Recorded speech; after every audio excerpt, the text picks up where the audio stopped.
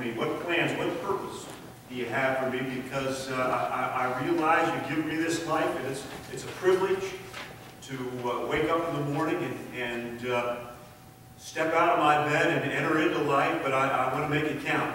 I, I, want to make what I do, uh, what I say, what, what I have, what I have to share with people, I want to make it count. So here I am, uh, Lord, to serve you.